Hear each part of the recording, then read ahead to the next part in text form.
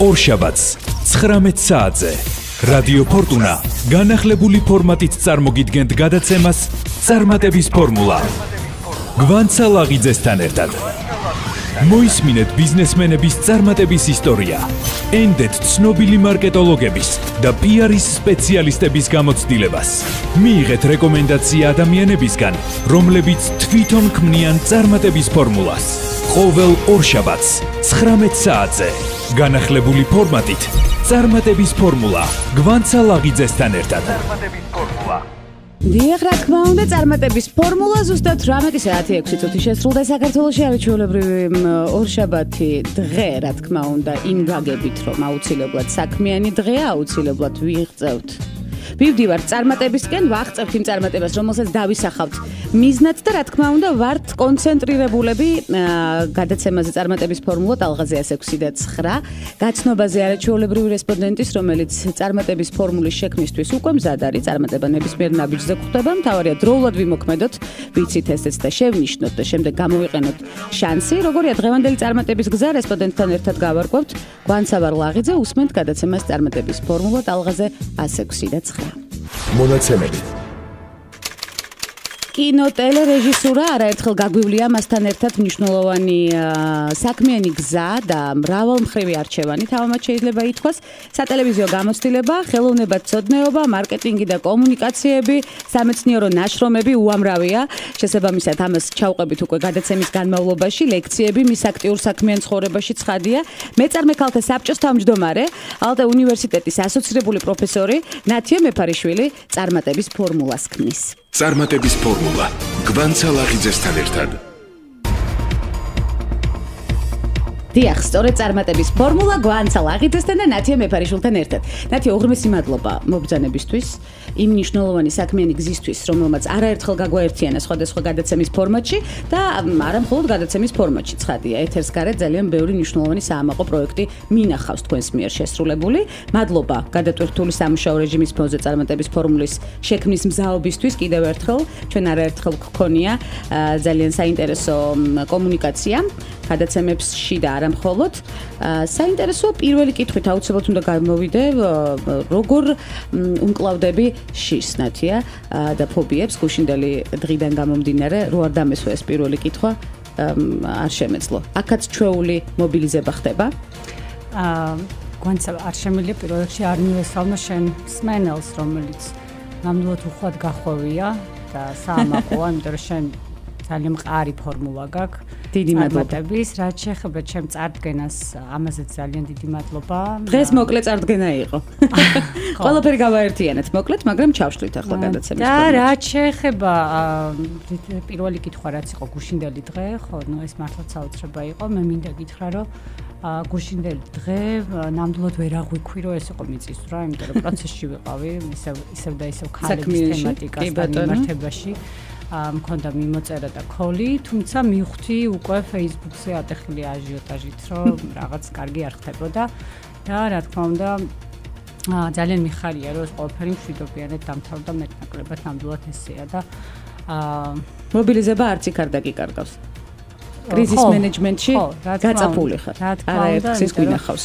აა ესეც ერთ-ერთი გეთახვები ფაქტორია, რომ ну ალბათ ალბათ ხო და გვეხმარება ხოლმე ესე დროს ისეთ რაღაც მიზან მიზან მიმართულად რო რაღაცაზე მუშაობ ამის საშუალება არ მქონდა რეალურად გავამეხატა ის ემოცია რაც როგორც ყოველთვის ამიტომ ვიკითხე პირველ კითხვათ ესე ქალების მხარდასაჭერი არაერთი სასარგებლო პროექტი რომელიც უკვე ვახსენეთ და არაერთხელ გაგვიმახვილებია სწორედ ყურადღება თქვენს ხარჯზე გვახსენდება. მაგრამ აი დავიწყოთ ახლა 2021 წლის შეჯამებით იქიდან გამომდინარე ჩვენ არ გქონია კომუნიკაცია სწორედ პანდემიურ ვითარებაში, როდესაც ყველაფერი გაჩერდა და კრიზის მენეჯმენტი აქ განსაკუთრებით გამოგადგებოდა დარწმუნებული ვარ და 2022 წლის საწყისი პერიოდი, სადაც ისევ ხედავთ აქტივობას არა მხოლოდ ქალების მიმართულებით, არამედ სხვადასხვა პროექტის მიმართულებით, მათ შორის აკადემიური თვალსაზრისით.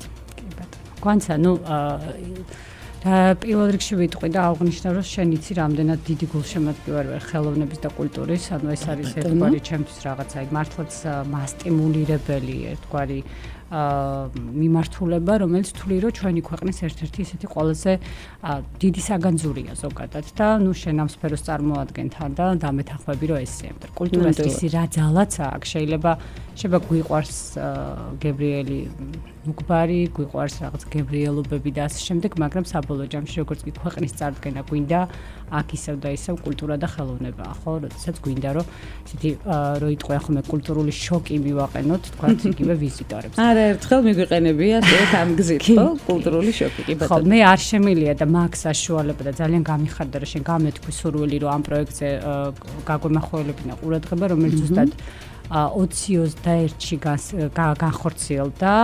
მე ვიტყოდი, რომ მართლაც უნიკალური პროექტია, რატო რომ პერიოდი, როდესაც ყველა ვართ ჩაკეტილი, ზუსტად მაშინ დაიწყო ამ პროექტზე მუშაობა. არის ასე ვთქვათ, საფრთხე იმისი, რომ ვერანაირ ღონისძიებას ვერ მართავთ, სადაც ფიზიკურად ადამიანები უნდა შეიკრიბნენ და ყველაზე მეტად ამას მხოლოდ მე არ არ ვსაუბრობ ამაზე, ზოგადად დაზარალდა ხელოვნება. შემოქმედებით ინდუსტრიები. ну, აი ეს იყო ერთ-ერთი მთავარი მიზანი რატომაც ამ პროექტზე დავიწყეთ მუშაობა და პროექტი მოიცავს რას რო? შეიქმნა გლობალური პლატფორმა სადაც ნუ ოღონდ ქალებზე ორიენტირებული, სადაც ხელოვანი ქალები იყვნენ ჩართულები პრაქტიკულად და 280 ქალი შეირჩა, ჯამში იყო 1200-ზე მეტი აპლიკაცია შემოსული.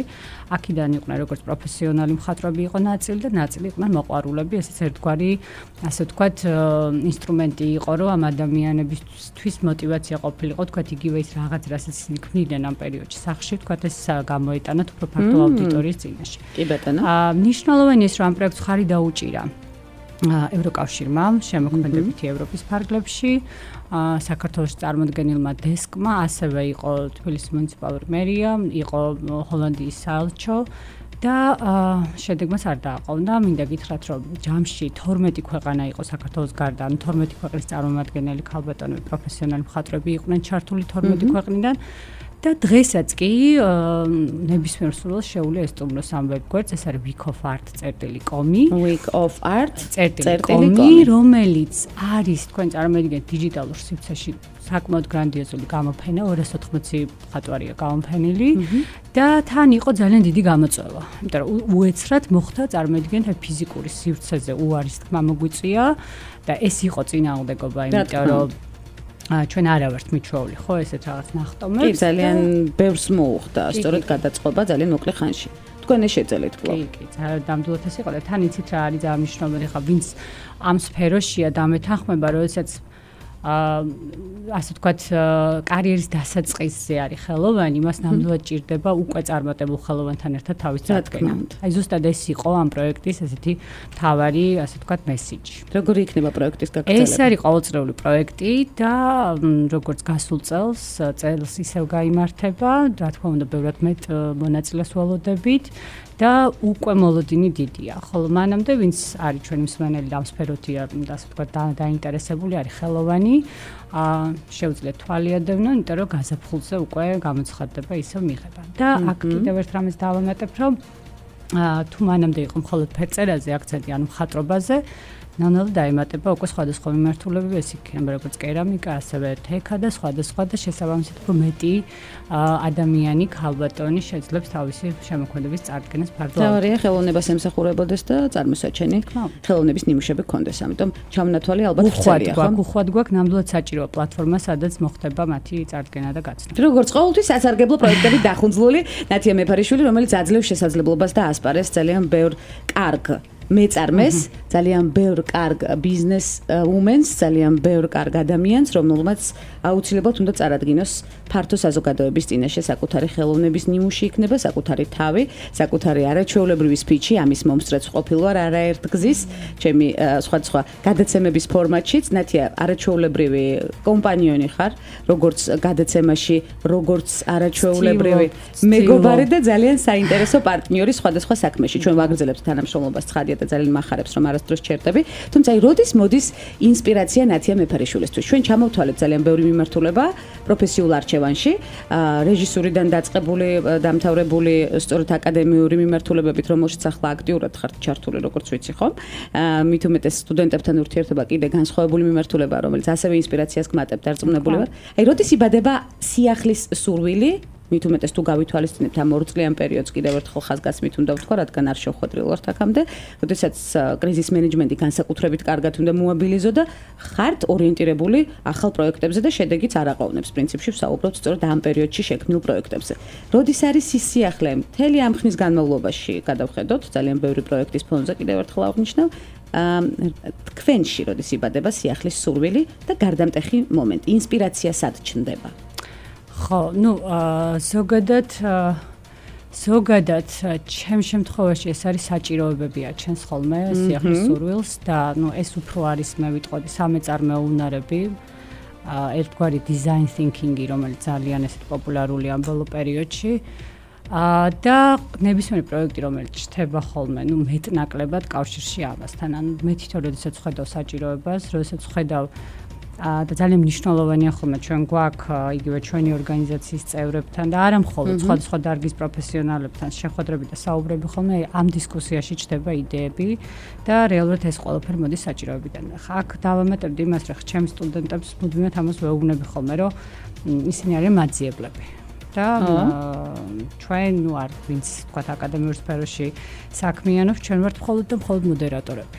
ანუ ის რასაც მუდმივად ჩვენ არაჩვეულებრივად ახორციელებთ. დიდი მადლობა. და მე ვიტყოდი, რომ საკმარისია ჩვენც ნებისმიერ ადამიანს ეს მაძიებლის უნარები, ასე ვთქვათ, და საერთოდ ეს ეს შევწყვიტოთ და არ ვიყოთ მაძიებლები, ძიებაში არ ვიყოთ, აქ ყველაფერი თავდება. ნუ ესე მიმაჩნია და ეს არის ალბათ ამ ყოველ. ზუსტად ეს საინსპირაციო მოტივი მინდოდა კლავ გამეგო თქვენგან როგორც ყოველთვის.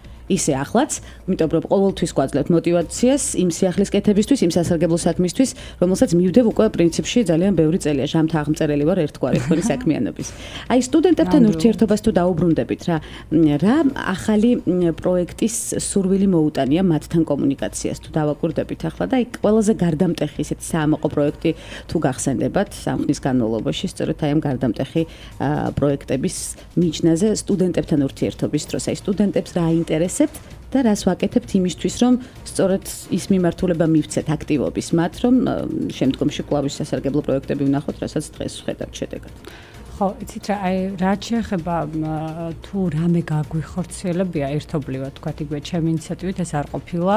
მიზეზი არის ერთ-ერთი ის რომ რეალურად საგას რომელსაც ვასწავლი ხოლმე არის ხოლმე ერთი სემესტრი და შესაბამისად რაღაცა ამ შემთხვევაში მე უკვე წყვეტაა, მაგრამ ძალიან მნიშვნელოვანია ის, რომ მათ აქვთ სურვილი, რომ რეალურად ბევრი რამ შეცვალონ და ჩვენ შემდეგ, ну, ხდება ხოლმე რაღაცა სხვა ზაგანთან მიმართებაში ისევ გვიწევს შეხვედრა, რეალურად ისინი ყვებიან, რომ რაღაც ეტაპები მოხდა, რაღაცები შეცვალეს და რაც თავარია შედეგი ნახეს იმ მიღებული, თქვა იგივე ცოდნა, რომელიც, ну, ხანდახან ხდება ხოლმე, რომ არც ისე მოხარულები არიან, როდესაც რაღაც კონკრეტულზე ახდენებთ კონცენტრირებას, მაგრამ შედეგი არის. რაც შეხვდა თავარი შედეგი კი ბატონო. ერთ-ერთი მთავარი მომენტი, რაც აი ბოლო ბოლოს იყო, რომ ესე შევეჩეხეთ და ნუ რა თქმა უნდა, არ ვიტყვი რა თქმა უნდა, მაგრამ რეალურად ჩვენ ესეთი დისკუსიის რეჟიმი გვაქვს ხოლმე და აღმოჩნდა, რომ არც ისე მარტივი ყოფილა, ეს არის მიმართულება ორგანიზაციული ქცევა, რომელიც თითქოს აი მართლაც მარტივია. და გონია რომ თუ გვაქვს კომპანია თუ ვართ რაღაცა ასე ვთქვათ სოციუმში ჩვენ ამ ამონარებს ფლოპთ ავტომატურად და ამ დროს ეს ესე არ არის. აბსოლუტურად არ არის. კი და თან ზოგადად ხდება ხომ რომ ამ საგას უმეტესწილად უფრო მაგისტრატურის სტუდენტებს უკითხავთ და ეს მაგისტრატურა ზოგადად ისედაც თავ თავ დაჯერებულობა ეს არის უმაღლესი ასე ვთქვათ უკვე ხარისხი სტუდენტური ცხოვრების პროცესში. და აქ ხდება რა რომ ისინი ძალიან კარგად ხედავენ ხოლმე როგორი როგორ ხდება მათ ასე ვთქვათ ყოველდღიურობაში ცვლილება. იმიტომ რაღაცები როგორც გვეგონა აღმოჩნდა რომ ეს ყველაფერი რაც გვეგონა არის стереოტიპები. და აი ამაზეა საუბარი. კი ბატონო ყველაზე ისეთი საინტერესო стереოტიპი რომელი გვახსენდება ახლა. რა გგონია ჩვენ? არა მხოლოდ სტუდენტობის პერიოდში, ორგანიზაციულ ქცევაში ძალიან ბევრი მიმართულება აქვს, ეს ჩასაშლელია და ჯაჭვურია. არა ერთხელ მქონია ამაზე გამოხულებული ყურადღება, მაგრამ ხშირად ქართულ კომპანიებში, ორგანიზაციებში რა გხდება ყველაზე მეტად, რაც შეიძლება აქეთა უკვე პროფესიონალი თვალით პრობლემათ აღვიქვა. იცი, მე შევეცდები ამ კითხვას უფრო აი ანალიტიკური თვალსაზრისით და იგივე ნაშრომებიდან გამომდინარე გავცი პასუხი. ეს არის თავისთავად უკვე არის ხოლმე ხალი თავისთავად პრობლემა. იმიტომ რომ რა საინტერესო? ხო, არის. იმიტომ რომ ქალთან მიმართებაში რომ ესე ვთქვა, არის არჩევანი კონკრეტულ რაიმე ვაკანსიაზე. ა ბევრად მარტო ის არ არის საკმარისი რომ თქვა ის საკმაყოფილებს მოთხოვნებს განათლების თვალსაზრისით და ასე შემდეგ აქ არის ხოლმე კიდე სხვა ინტერესი, არის დაოჯახებული, ვთქვათ, სხვა სხვა კითხვები ჩნდება, რომელიც აბსოლუტურად არაფერ კავშირშია იმ საქმესთან. ეს არ არის стереოტიპი, ეს არის ის სტატისტიკური მონაცემები, რაზეც არა ერთხელ იგივე ივან ულმანმა იმუშავა და გამოავლინა და ასე რაც ასახულიც არის, აი თითქმის ყოველ წელს არის ხოლმე სტატისტიკის სამსახური დებს მონაცემებს, რომ რატო ხდება, რომ ქალის ანაზღაურება არის 40%-ით ნაკლები, ხო? და რატო ხდება? იგივე პოზიციაზე. ხო აი ეს აი რატო ხდება ჯამში როდესაც 3-400 ლარით მინიმუმ სხვაობაა საქმეც ისაა რომ იგივე პოზიცია ქალს ყველაზე ნაკლები პროცენტული რაოდენობით აქვს ანუ ზოგადად მათი კარიერული ზრდა არის ბევრად შენელებული და მაღალ პოზიციებზე ქალები არის ნაკლებად წარმოდგენილი. ამიტოა ეს პროცენტული სხვაობა, თორე არა იმიტომ რომ ნაკლები ქალი მუშაობს.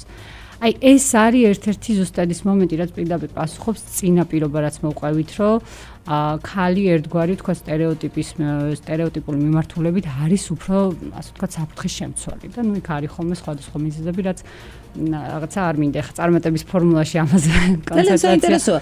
ძალიან საინტერესოა ეს მიმართულება რომელიც გამოსასწორებელია. ცხადია ჩვენ ვახდენთ ამაზე კონცენტრირებას შემდეგ ვასწორებთ რა თქმა უნდა მუშაობ მაგრამ ეს არავინ არ იფიქრს რომ მხოლოდ საქართველოს პრობლემაა თვით სკანდინავიის ქვეყნებში და ამაზე ბევრჯერ ქონია საუბარის რომელიც არის მართლაც გენდერის სამშობლო რასაც არაერთხელ ამბობთ იქაც კი აბსოლუტურად იგივე თითქმის იგივე პრობლემაა. კი, კი, კი ბატონო. თქვენ გქონიათ ასეთი შეფერხება საქმიან გზაზე?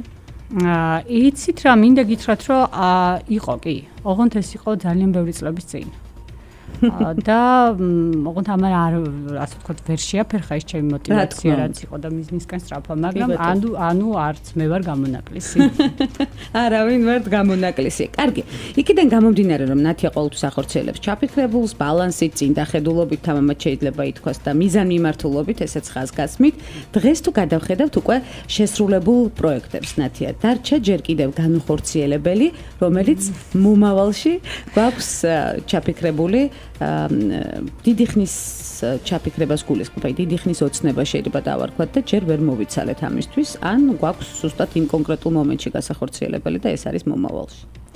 ხო, ეს შესავალი გააკეთე ძალიან სწორი, ანუ რიგითობა. და ეს ჩემთვის ძალიან ესეთი მომენტია, რომ მართლაც ყველაფერს თავისი რიგი აქვს.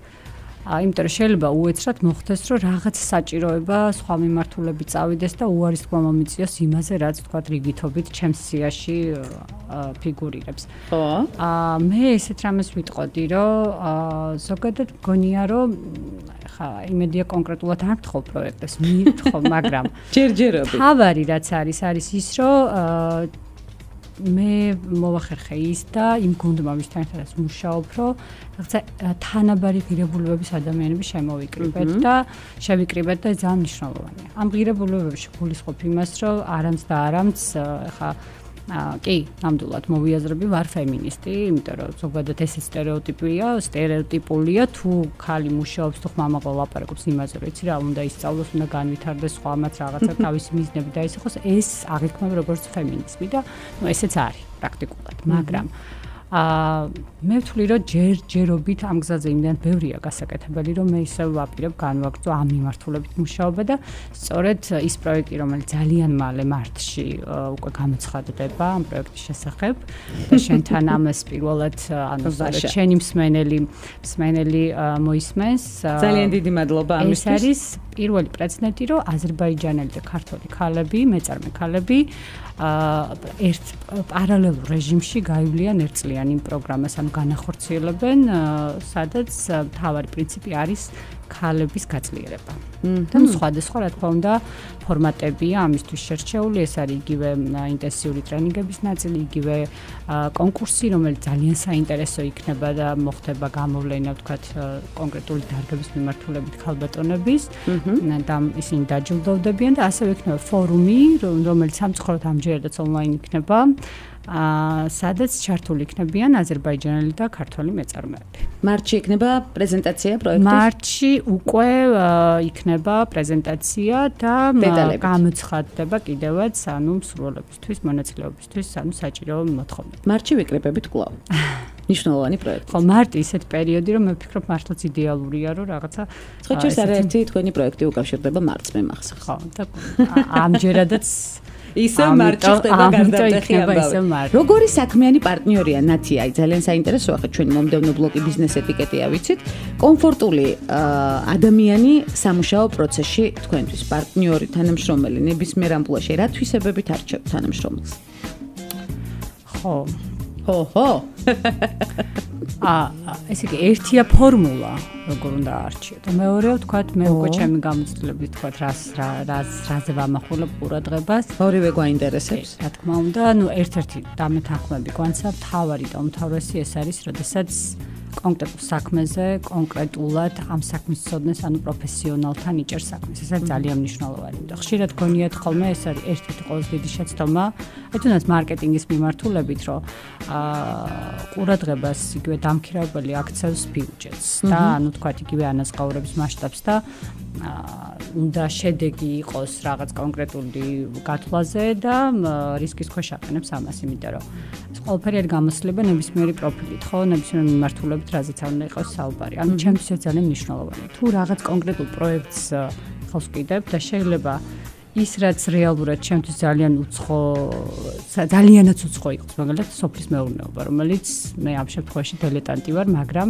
რადგან ფლოპ იმ ინსტრუმენტებს რასაც ქვია თქვა იგივე მარკეტინგული ნაწილი საკომუნიკაციო და ასე შემდეგ და ბაზრის ანალიზის უნარი მაქვს და შემიძლია ნებისმიერი ინფორმაცია თქვა მოვიპოვო იმიტომ რომ ამის უნარობს ფლოპ აა რა თქმა უნდა განხორციელებადია თუმცა არაზოს არ შემეშლება რომ მივაკითხო ზუსტად იმ ადამიანს ვინც არის იმ კონკრეტული მიმართულების პროფესიონალი. სხვა შემთხვევაში თუ ჩვენ აქცენტს არ გავაკეთებთ პროფესიონალიზმზე, ნიშნავს რომ აი ძალიან დიდი შრომა ეს ყველაფერი შევაწყალს ჩაიყაროს. აა კერძო სექტორშიც ეს პრობლემაა დღემდე.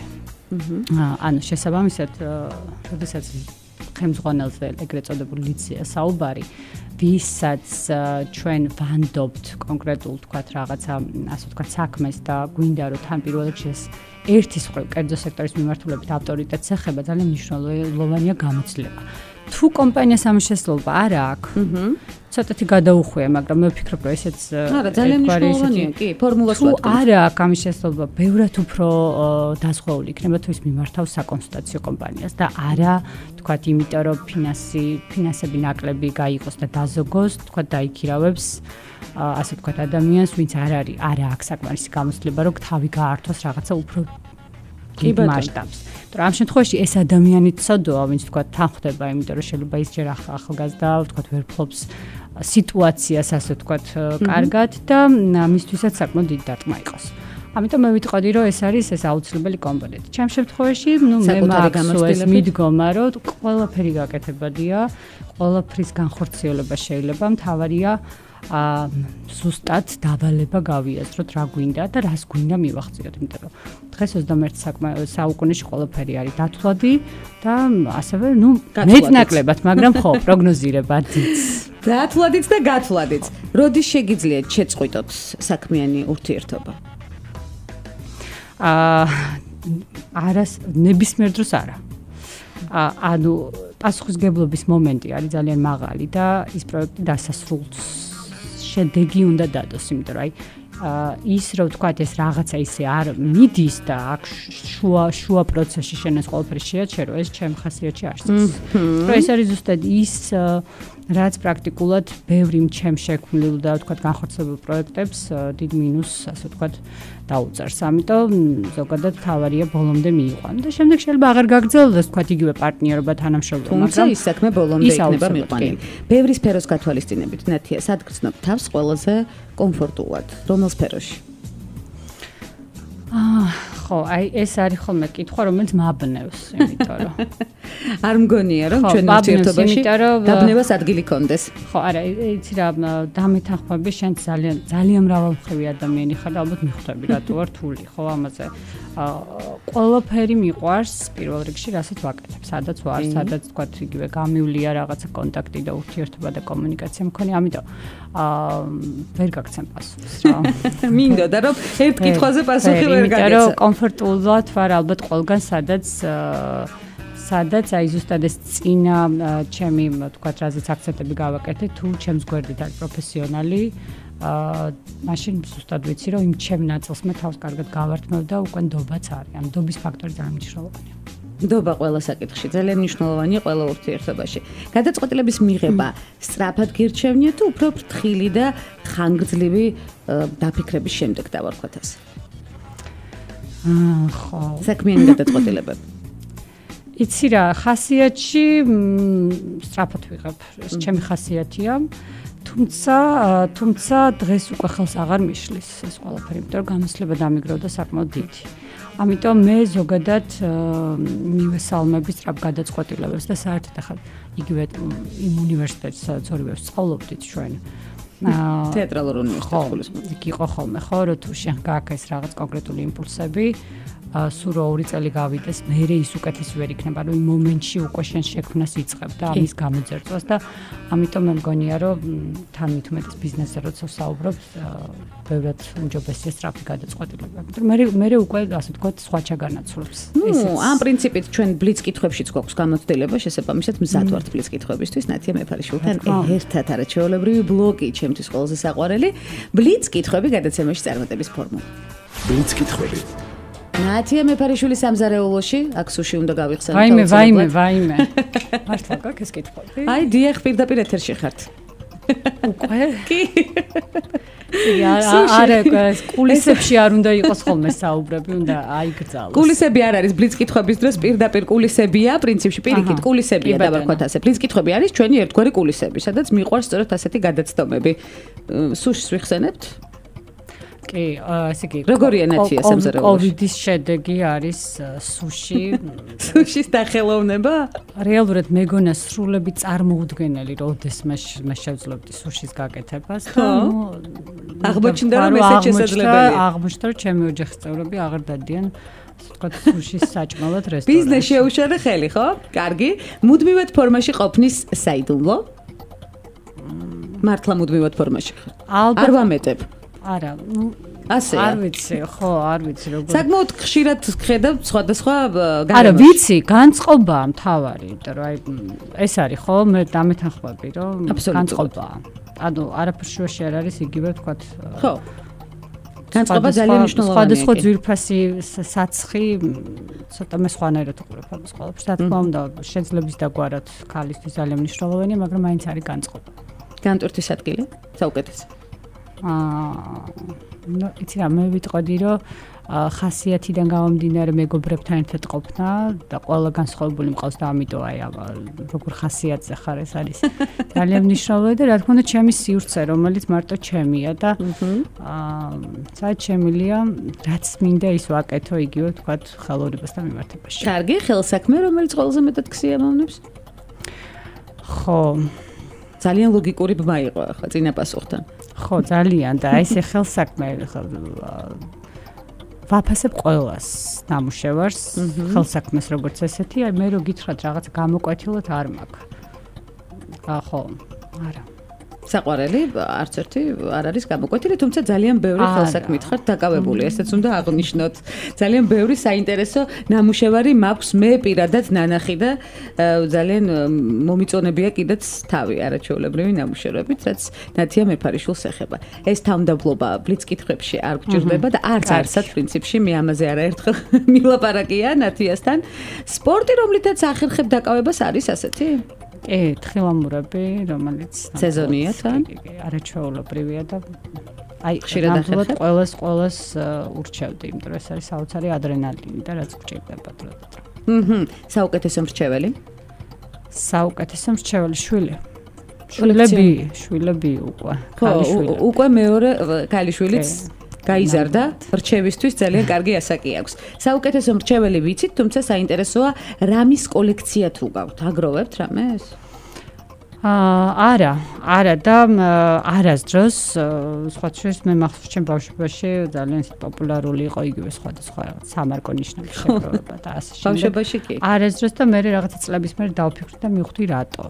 იმიტომ რომ აა იმიტომ რომ ალბათ რაღაც თვალსაზრისით აი უკვე შორეულ, ასე ვთქვათ, დღეს უკვე შორეულ წარსულშიც ყველაფერს რაღაცა ფასეულობას ვადებდი და არ მქონდა განსაზღვრული რა განვითარება ექნებოდა ამას ყველაფერს და შესაბამისად იმ დროს და რესურსს არ ვახარჯავდი ალბათ. ბავშვობიდან მენეჯმენტი იყო გადაწყვეტილი სხვადასხვა სფეროში, თან ძალიან მნიშვნელოვანია.